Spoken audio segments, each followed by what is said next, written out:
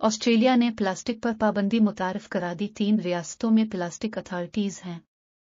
मसनूआत की एक रेंज को भी गैर कानूनी करार देना तहफ़ पसंदों का कहना है कि माजी में पाँच साल ऑस्ट्रेलिया एक दुनिया बन गया है। वाहिद इस्तेमाल प्लास्टिक पर पाबंदी लगाने में रहनुमा साइंसदानों का कहना है कि एक सौ इकहत्तर ट्रिलियन से ज़्यादा प्लास्टिक के टुकड़े होने का तखमीना लगाया गया है। दुनिया के समंदरों में तैरते हुए कहते हैं कि तादाद तकरीबन तीन गन्ना हो सकती है। माहौलियाती ग्रुपों का कहना है कि ऑस्ट्रेलिया को बहुत कुछ करने की ज़रूरत है।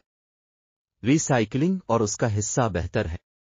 मसला ये है कि कौमी की कमी है। फ्रेमवर्क अगर आप हीलियम गुब्बारे लेते हैं।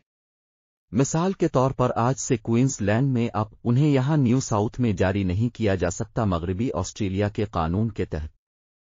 आमतौर पर सबसे बेहतर समझा जाता है ऑस्ट्रेलवी रियासत की कारकर्दगी जब ये रिसाइकिलिंग और तस्मानिया की तरफ़ आता है। कम अज कम मुअसर तो ये थोड़ा सा है।